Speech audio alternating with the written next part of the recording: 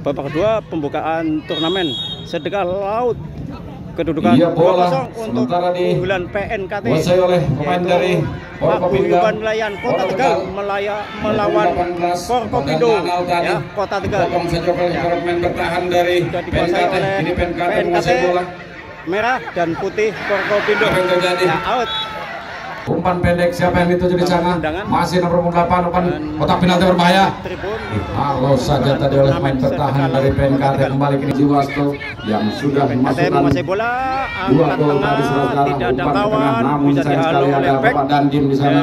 pemain bertahan atau dari back dari Forkopindo. Forkopinda Kota Tegal kini. Forkopinda Kota Tegal men- menguasai bola Tendangan gawang saja kirimkan langsung ke depan kini dikawal saja dari lagi dari kini kembali menguasai bola Forkopinda mencoba Forkopinda sudah mencerang ketinggalan bola 2-0 Pak Kapolres. di Masih sepak bola pembukaan turnamen 8. sepak bola Kasampol di sana masih yaitu PP dan apa yang terjadi?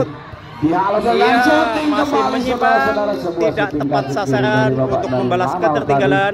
Masih tetap tadi. Namun 2-0 masih di babak kedua. Tendangan gawang saja. Jaga gawang dari PNKT lakukan langsung kirimkan ke depan nomor punggung 212 kembali saudara-saudara Hajiman 7 Ya, masih serangan sana. masih kotak Masih atik di tengah, ya, untuk mencoba yang saja. memberikan perlawanan karena masih ketinggalan menguasai 2-0 bola. hilang lagi dikuasai oleh PNKT. PNKT melebar ke sayap kanan. Saudara masih memasuki dan shooting sayang sekali saudara-saudara. Sebuah yang dilakukan Ya, ini tendangan sudut dari Forkopindo. Dia lakukan Ya, saudara-saudara. Iya, bola kembali Bapak Dani berbahaya. ya, masih bisa dihalau. Serangannya gagal lagi. Ya. Masih tetap saudara-saudara. 2-0 di sepak bola kapuk pembukaan turnamen sepak bola sedekah laut. Ada nomor 12 langsung syuting. Masih ada satu orang bertahan nih. Bapak Kapolres ini mencari ruangan. Tidak masuk, masih bisa dihalau oleh penjaga gawang. Ya, ini tendangan sudut. Bola. Gagal, bisa dikuasai oleh penjaga gawang. Masih tetap di babak kedua ini 2-0 untuk keunggulan PNKT.